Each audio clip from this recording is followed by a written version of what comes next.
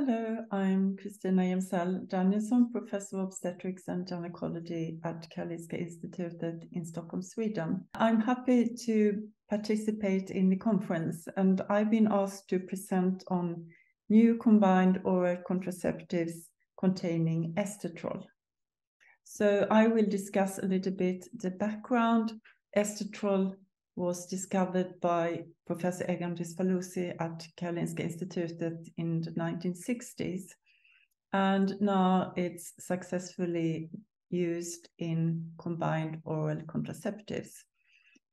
It has a unique mechanism of action.